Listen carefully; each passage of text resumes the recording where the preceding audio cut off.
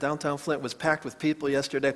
And of course, the, the biggest event that was happening in, in Flint yesterday was Flint Pride. Uh, Court Street United Methodist Church had, as we have for the last several years, had a table at Flint Pride. Uh, I want to thank uh, in worship today all of the people who made that table happen, uh, the many Court Streeters who came and took a shift for a couple hours or even longer, uh, welcoming people, uh, giving people a different, a different voice from God than the one they heard from protesters on the road we've all sinned. All of us fall short. That's why we need a Savior. That's why Jesus had to come to the earth to die for us. And he says, repent. Turn from your sins. And seek the truth into, uh, into the event. Thank you, Court Street United Methodist Church, for being the, the kind of church where, where uh, we understand that sometimes honor your mother and father means honor your mother and father, and sometimes it means honor your mothers, and sometimes it means honor your fathers. Thank you for being that big hearted church. Uh, Flint needed that kind of church yesterday. Uh, along with those prayers of thanksgiving and celebration, I'm going to be praying for, for people who may have been wounded or hurt or traumatized in the name of Jesus yesterday.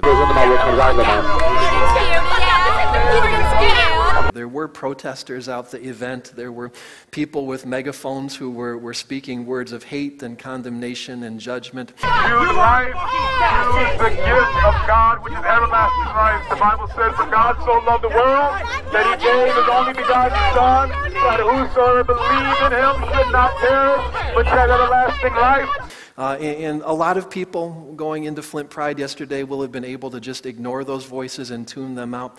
Um, but for some people, for some people yesterday, those, those voices will have opened, opened old wounds uh, and maybe opened fresh wounds. Uh, and so today I'm going to pray for, for healing uh, and for God's love uh, to, to uh, fill and surround people who are, are still, still have those words and voices lingering in their minds and their hearts today.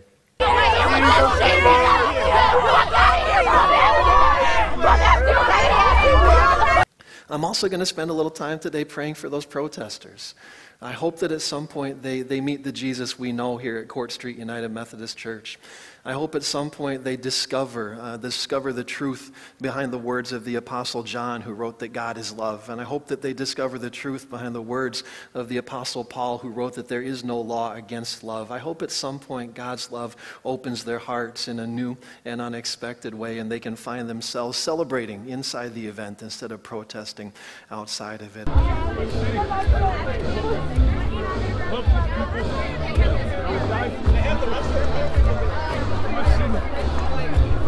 protection.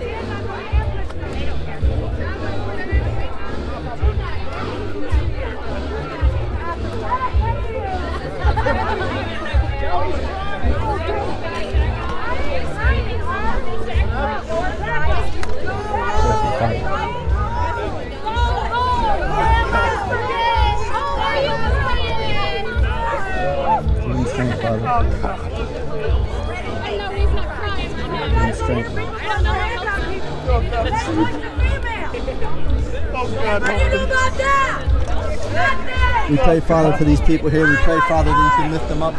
We pray, Father, you can pull on their heartstrings. Father, we pray that you can pull this, the, take away the scales from their eyes and ears to see the truth, Father. We pray for these people, Father, in Flint. We pray, Father, that you're with them. We pray that you can pull on their heartstrings and and turn them, help them repent, turn from their sins, Father. We, we pray for these people. We pray for the city of Flint, Father. We pray for us as well, Father. In Jesus' name we pray. We pray you're with us. We pray for your protection. We pray, Father, you can lift us up. In Jesus' name we pray, amen.